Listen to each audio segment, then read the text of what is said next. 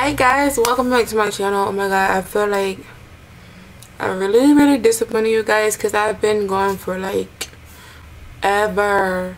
And i really contemplated coming back because it's like so much to do.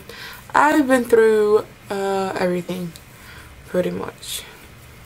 But i'm going to try to get back on the bandwagon and get things going again. This look was inspired by the Rihanna Heart Mac Riri collection.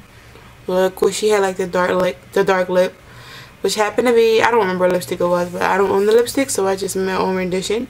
Everything I used was mainly drugstore products except for like what's in my waterline which could be used as a drugstore product. But if you would like to see how to get this look which is pretty pretty easy stay tuned